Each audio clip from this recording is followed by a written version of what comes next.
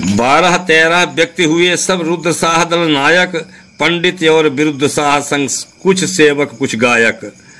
तब संसम्मत में था साधन, पैरों वाली गाड़ी, ऊबड़ खाबड़ युक्त रास्ता और कटेली झाड़ी। दिन भर चलते चलते जैसे हो जाती थी शाम, पड़ता वहीं पड़ाव प्रेम से यो भोजन विश्राम। मैनपुरी से चलते चलते लगभग दस दिन बीते, सीधी की सीमा में पहुँचे जहाँ रेव चीते। शाम हुई, फिर रात हुई और तब तक बनी बियारी लगे बुलाने भोजन खातिर नाऊ ढीमर बारी।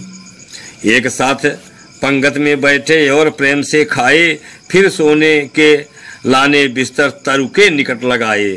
प्रभु की लीला को क्या कहना, मिटे नहीं अनहोनी। प्रकृति कभी भी नहीं देखती सोधी और सलोनी। जहाँ रात को तर के नीचे दलबल सारे सोए, पानी, पत्थर एवं आंधी के बीच प्रकृति ने बोए। महाप्रलय हो गया, अचानक ऊपर वृक्ष गिरा। बचे चार जो जगे जल्द ही बाकी, वहीं मरे। हाहाकार मचा निर्जन में, मानो सिक्के टूटे। क्या अपराध हुआ था, मुझसे अपने साथी छूटे। ये बस सीधी पहुँचे हैं भला। दुर्घटना हो गई दुर्घटना है तो छाती पीट पीट कर रोए एवं मन में पछताते अच्छा होता अगर इन्हें हम साथ नहीं साथ नहीं साथ में लाते। रोते रहे निरंतर लेकिन नहीं हाथ कुछ आया मन में सोचे साथी खोकर केवल अपयस पाया। मन मलिन हो गया वहीं पे फिर फिरा ललक में पानी हाय विधाता क्यों गढ़ डाली अपनी करुण कहानी। लगे सोचने सीमा पर ही हमें नहीं अब जाना। फाग उड़ैसा पुरी पहुंचकर हमको नहीं मनाना। बचने वालों की संख्या का कर दे यहाँ खुलासा। चार बचे थे चार धाम से जिनकी प्रबल पियासा। पहला पंडित गोत्र लोहाड़ी और सुशीला रानी। अनुज विरुद्ध तीसरा, चौथा रुद्र साहस ज्ञानी। चार आदमी बचे रहे। दुर्घटना में एक माह तक धुनी रहे रमाए, सीमा से आगे ना पीछे पद तक नहीं बढ़ाए। वहीं थे धुनी रमाए दिन एक महीना। और प्रति- के वहाँ नहीं जाना है फागुड़ ऐसा नहीं मनाना है, जगन्नाथपुरी नहीं जाना है। ऐसा ही होता आया जब दुर्मिल दिन आते, हाथ होम से जलने लगता वेद पुराण बताते। कैसे कैसे दिन कटते थे, कैसी कैसी रातें पराकाष्ठा की पीणा जब बनती नहीं बताते।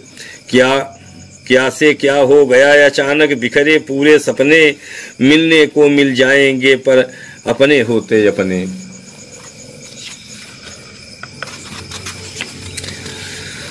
ऊहा पोहा युक्त थी स्थिति और हाथ कमज़ोर, आँखों में होती थी रातें, लेकिन मन में भोर।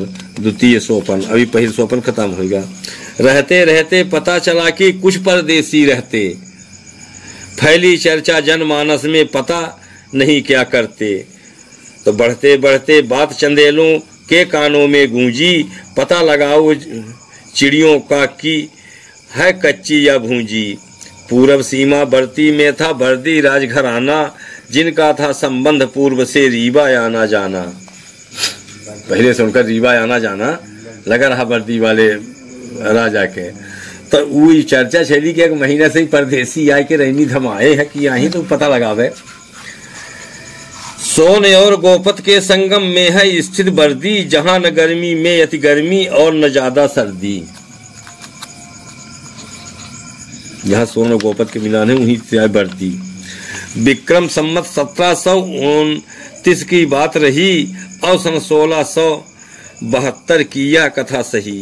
रीवा के राजा अनूप सिंह इन्हीं दिनों थे शासक, बाईसवीं पीढ़ी के नाते जो थे सत्ता के साधक। बड़े बहादुर तेगा वाले थे पूर्वज बलशाली, संकट चाहे जितना आए किंतु न बदले पाली। चंदेलों का राजपाट या उनका राजघराना राजा राम बहादुर सिंह थे, सचमुच जाना माना।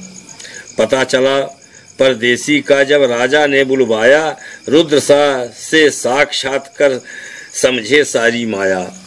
रुद्र शाह ने साफ़ साफ़ ही सच्ची कथा सुनाई, तब राजा के अंतर मन में बात समझ में आई। बातचीत वक्तव्य कला से उभर गया व्यक्तित्व, जगह बनी राजा के मन में है इनका अस्तित्व।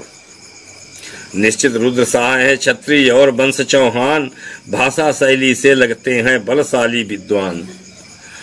तो राजपाट के रक्षा खातिर होती थी कुछ सेना, जिनका कर्म सुरक्षा करना और न लेना देना। करनी पड़ी लड़ाई तो फिर पैर न पीछे आए, प्राण निछावर हो जाए पर आँच न आने पाए। बर्दी राजा की सेना में ऐसा सैनिक होते जो खुद की तलवार पास में और छत्री के पोते। नियम और कानून वहाँ का दोनों भाई समझे कैसे हो सेना में भर्ती, इसी प्रश्न में उलझे। प्रश्न प्रगति के खींच रहा था, बस पीछे को पाँव, क्योंकि अटके रहे राह में छोड़ छाड़ कर गाँव। राजा की सेना में राजा कार्य न करना चाहे, पर आफत के वे मारे थे इससे झुकी निगाहें। भाई से भाई ने पूछा ऐसा कौन उपाय? सेना में सैनिक बन जाए जिससे बढ़े प्रभाव। सोचिए कि सेना में सैनिक बन जाए तो कुछ तो प्रभाव बढ़ी। पंद्रह दिन मुश्किल से बीते मानो दबे दब आए किंतु प्रश्न उठता है आखिर कैसे पेट चलाएँ? सुबह सुबह जब रुद्र शाह जी एक दिन सोकर जागे तीन नेवला पंक्तिबद्ध सा भागे आगे आगे। ऐसे तैसे दिन बीते कुछ।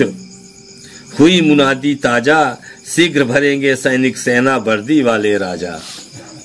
सेना में भर्ती के खातिर अस्त्र शस्त्र में आए किंतु पास न जिनके चाकू वे तफसीह न लाए। वही रहा कि अस्त्र शस्त्र लेके आओ फिर जेके लेके चकुआ भरन हो तो सेना में भर्ती हो न आया वीर बहादुर यौदल और बलशाली थे दो ही दोनों भाई उमड़ पड़ा, उत्साह अंततः कैसे पड़े रहाई?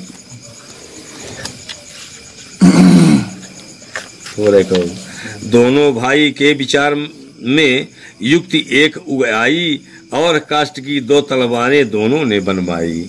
दोनों को आगे के तलवार दिखावे के कठवा के तलवार। हम लोहे के बनवाए लेके पर रुखे न रहे थे, कठवा के दोनों ने बनवाई।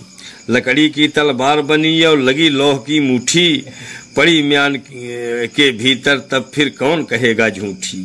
साक्षात साक्षात के लिए पूतिए ऐसे कुछ व्यवस्थित राजा के सम्मुख प्रमाण में सीधे हुए उपस्थित। राजपूत थे मैनपुरी के दोनों, राजपूत थे मैनपुरी के थे दोनों बलशाली। युद्ध भूमि में उन्हें सिद्ध थी मानो देवी काली। राजा ने देखा दोनों के लटक रही तलवारें वीर बहादुर के पौरुष से त्वरित हुए तैयार। अब सेना में भर्ती होकर सैनिक का पथ पाए, प्रथम युद्ध की प्रथम विजय पथ फूले नहीं समाये जहाँ सुरक्षा करनी होती, दोनों भाई जाते, और अपने हाथों से दुश्मन का सीधे गला दबाते।